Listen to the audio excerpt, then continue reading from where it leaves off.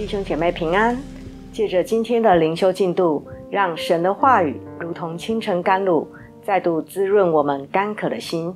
使徒行传是三位一体的上帝自己未完结的故事，述说着耶稣复活升天之后，在地上初代信徒怎么领受主耶稣的吩咐，要在耶路撒冷、犹太全地、撒玛利亚，直到地极，为主做见证。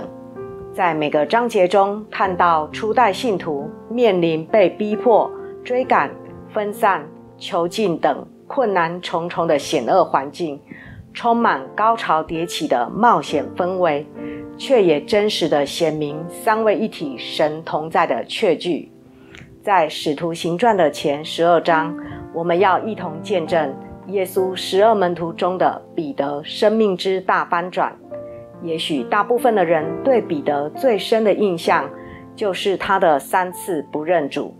但是在主复活之后，他的认罪悔改、领受圣灵恩高、被圣灵充满之后的他，成为有胆量、有智慧、有口才，被认明是跟过耶稣的。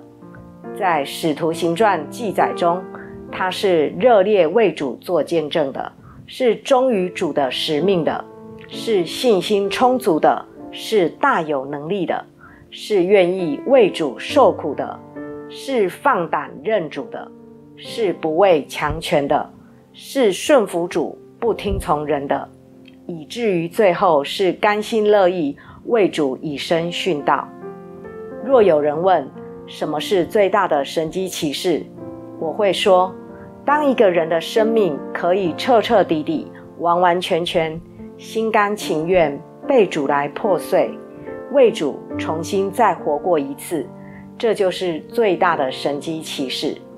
最大的神机启示就是人在自己所拥有的自由意志当中，愿意降服在主的爱中，坚守持守自己所信的神，永不后退。我也相信，愿意降服于主旨意的人。是天天满有圣灵同在的人，不论他或说什么，或做什么，都是见证被圣灵充满的大喜乐。牧者们常常分享，我们的教会是喜乐的教会，喜乐的教会来自于每一个充满喜乐的生命。喜乐的生命就是被圣灵充满的确据。生命的确据是来自于哪里呢？不就是我们这些信主的人，如同使徒彼得摸着主爱之后的宣告：除他以外，别无拯救，因为在天下人间没有赐下别的名，我们可以靠着得救。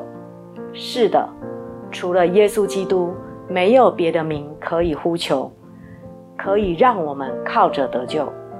但愿我们的生命可以活出重生得救的样式。让认识我们的人心中都感到稀奇，也认明我们是跟过耶稣的人，并且全心全意为福音而活。让我们一起低头祷告，爱我们的主，我们要一起同心祷告，赞美你的圣名。除你以外，我们别无拯救。天下人间没有赐下别的名，我们可以靠着得救。孩子这样感谢祷告，都是奉靠主耶稣基督的名所求，阿门。